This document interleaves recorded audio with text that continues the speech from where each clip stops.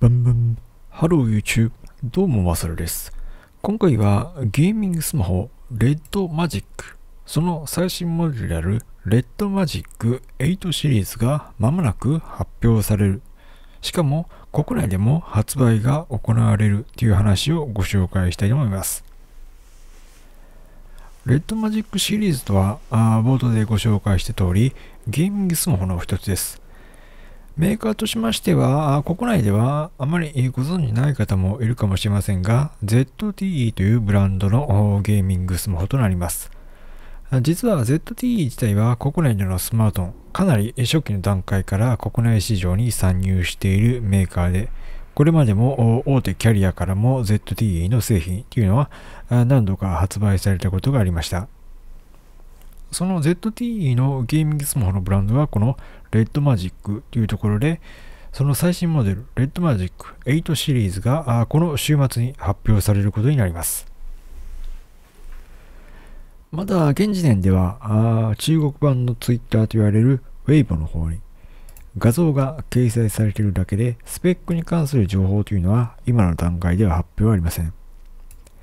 ただ、大方予想できるスペックなどもありますので、現行モデルとの違いなどに含めてもご紹介していきたいと思います。まずこちらがすでに公開されている画像となります。こちらは RedMagic 8シリーズの中でも、無印の RedMagic 8のほか8 Pro というモデルも存在し、その辺の画像が掲載されています。こちらは背面側からカメラ部分を映した画像となりますが、あこのようにカメラは中央に縦に3つ並んだレイアウトとなっています。割と最近はカメラの配置、もうカメラユニット自体を大きなユニットにしてしまい、デザイン上もカメラがかなり目立つというデザインを採用しているメーカーも多いんですが、今回のレッドマジック8につきましては、そうではなく、割とカメラは控えめなデザインとなっています。それよりもやや目を引くのはこの角の部分。この上面もそうですが、角の部分もかなり角張ったデザインになっている。どちらかと言いますと最近のモデルで言いますと、エクスペリアとか、そういったモデルのデザインに近いようにも思います。また、うっすらではありますが、ここにイヤホン端子があるのがわかるかと思います。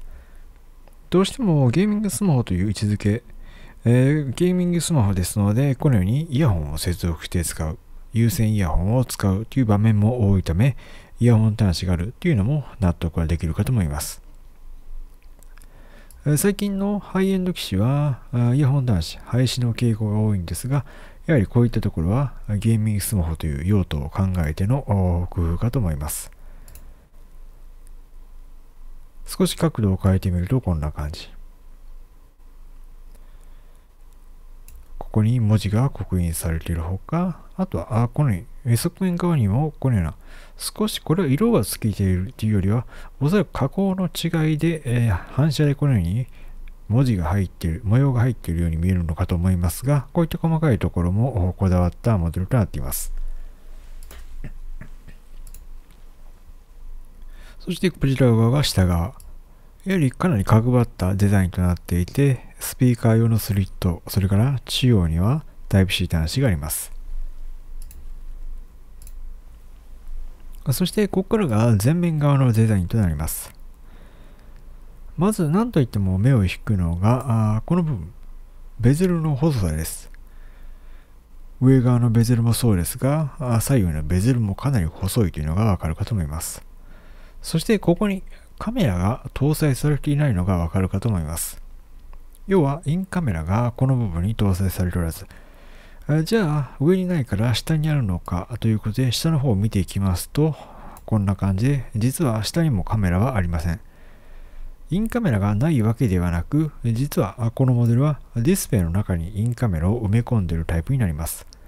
まあ過去にもこのようなコンセプト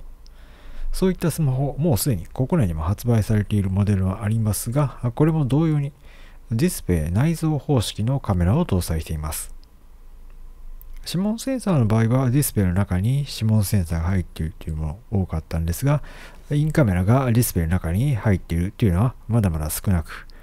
画質の面などからも採用しないメーカーは多いんですが、割と ZT は積極的にそういった技術を使っているため、このゲーミングスマホ、レッドマジック8シリーズにもこのようなデザインが採用されています。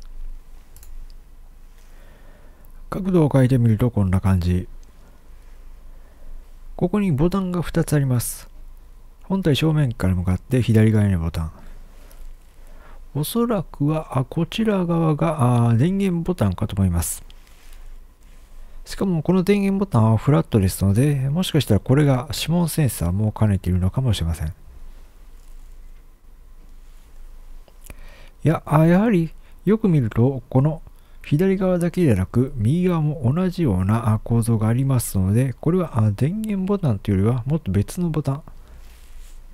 別の用途で使うものかと思います。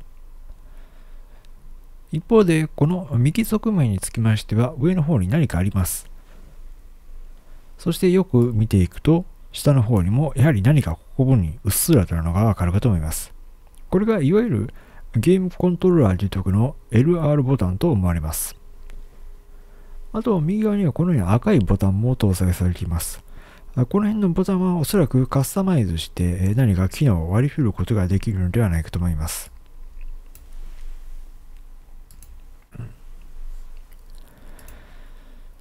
そしてまたこちらは別バージョンとなりますが、こちら側のバージョンは背面側がスケルトンになっています。完全に透明になっていて、その下に何か入っているのが見えるというよりは、半透明のパーツで中が透けてるようにも見えるし、デザインでこのようにあえて半透明のパーツを載せているようにも見えますので、えこちらはどうなっているのかはわかりません。パッと見た感じ、基板が丸見えになっている、バッテリーが丸見えになっているわけではありませんので、デザインでスケルトン風のデザインにして完全に中が透けて見えるというわけではなさそうです。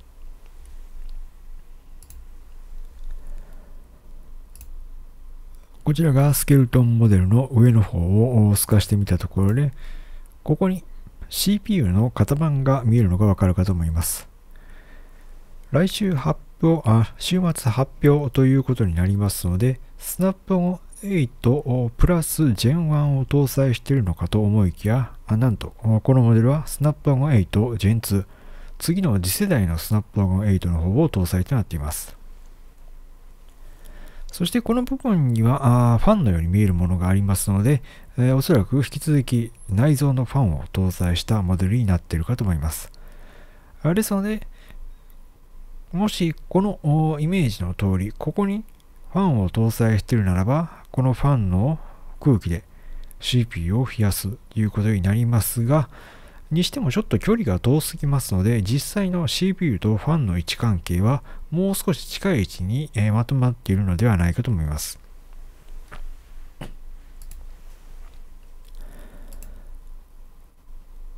あとはこちらスケルトンモデルを背面側、前面側から見たところ。そしてこちらがスケルトンモデルの下の方。やはりこの赤いボタンがかなりデザイン上も目を引くデザインとなっています。では、今回のこの公開されている画像からも、なんとなくスペックに関するところ分かったかと思いますが、現行モデルと比べてどういったところが違うのかご紹介していきます。ちなみに今画面に表示していますのは現行モデルとなります。現行モデルの方もデザインはあまあまあこだわったモデルとなっていましたが、現行モデルでは CPU が Snapdragon 8 Gen 1となっていました。これが次世代のスナップワゴン8 Gen 2に置き換わるというところがスペック上の大きな特徴となります。あと、現行モデルは RAM が MAX18GB、ROM は 256GB と RAM 容量がとても多いというのが特徴でした。ですので、今、発表間もなく、間もなく発表されます次の新しいレッドマジック8シリーズにつきましては、やはり同じような大容量の RAM を選択できるようになっているかと思います。当然、ディフスプレイのリフレッシュデートにつきましても、もうすでに現行時点で 165Hz という立場も含めて特に優れたディスプレイを搭載していましたので、この辺も引き続き高速なディスプレイが搭載されるものと思います。ディスプレイサイズにつきましても、まあまあ大型の6.8インチのディスプレイが搭載されていましたので、ここも引き続き搭載されるものと思います。UQL も同じく、引き続き UQL ディスプレイが採用されます。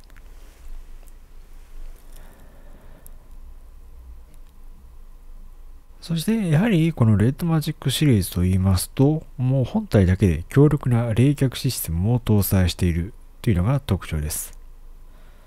引き続き、えー、先ほどのスケルトンモデルのデザインにもあった通り、このように内蔵のファンが搭載されており、このファンによって、えー、本体を冷却することができるようになっています。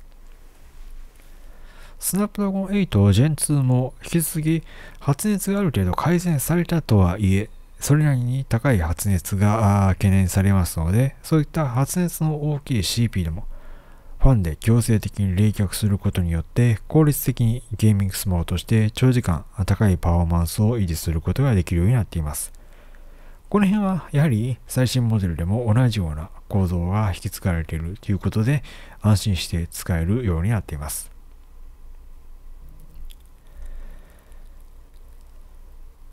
ファンにつきましては、まあとても小さなファンではありますが、あそれでももともとパソコンの CPU を増やすわけではありませんで、スマホの CPU 冷却用としては十分強力なファンとなっていますので、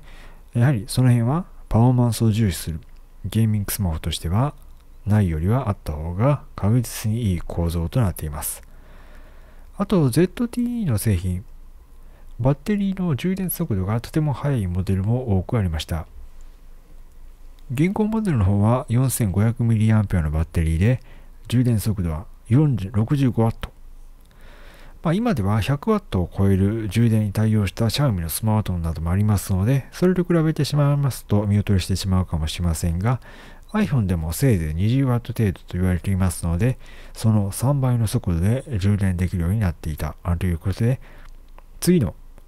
週末に発表される RedMagic 8の方はもっと高い充電性能に対応してくるかもしれませんし、現行モデルを踏襲するかもしれません。あとはショルダートリガーといって、いわゆる LR ボタン。これも引き続き搭載されていましたので、こちらも安心して使うことができます。あと赤いボタンにつきましては、こちらも新しいモデルでも搭載されることが決定していますが、現行モデルはゲームをパフォーマンスを上げるスイッチとしてその赤いボタンが使われていました。同じような機能が最新モデルでも使われるかと思いますし、何らかのカスタマイズもできるかと思いますので、えこの辺はぜひ楽しみにしたいと思います。カメラにつきましては、現行モデルが6400万画素のセンサーを搭載し、ゲーミングスマホとしてはああまり画素数にこだわらないというか、カメラの性能を落として、えー、コスパ、他の部分のコストを上げて、全体のコストを挑戦していましたが、今回のレッドマジック8ではどうなるのか。その辺も気になるところとなっています。ということで、現時点で判明している内容としましては、まずスペックとしましては、あこちら、スナップドラゴン8 Gen 2を搭載しているというところ、それから、引き続きファンによる冷却が可能というところ、これがスペックに関する情報となります。またデザインにつきましてはこんな感じで背面側、中央にカメラが3つ並ぶデザイン。まあ、実はこれまでのモデルも似たようなデザインを採用していましたが、これまでのモデル以上に、このようにデザイン的にもよりまとまった落ち着いたデザインになっているというのがこの最新モデルとなります。特に最近の流行りでもある角張ったデザイン、これも対応しており、ゲーミングスマホとして使うのはもちろんのこと、普段使いのスマートフォンとして使う、そういう用途でも使えるモデルとなっていますし、よりこのディスプレイ内蔵方式のインカメラ、この画質がどうなったのか。まあゲーミングスマホですので、インカメラをよく使うという場面はほとんどありませんが、この辺、ディスプレイ内蔵方式のインカメラの画質、これがどのように改善されてきているのか、その辺もとても気になるところと思います。今後のスケジュールとしましては、12月26日、正式にこのレッドマジック8が発表となります。まずはこちらの Wave の方に掲載されていることで中国モデルが発表されるかとは思いますが、レッドマジックシリーズはここ数年国内モデルも発売してきていますので、後ほど国内モデルが発売されるというのもほぼ間違いないと言えます。この冬、あるいは来年早々何か新しいゲーミングスマホが欲しいという方、そういう方はこのレッドマジックシリーズなどは最新で最もパフォーマンスの高いスナップワゴン8 Gen 2を積んだ状態で発売されますので、特にこのモデルなどは期待していいモデルとなっているかと思います。いずれにしろ、まもなく週末にはこちらのモデル正式に発表されますので、国内モデルとは若干メモリとかステージのスペック変わってくるかもしれませんが、ほぼ間違いなく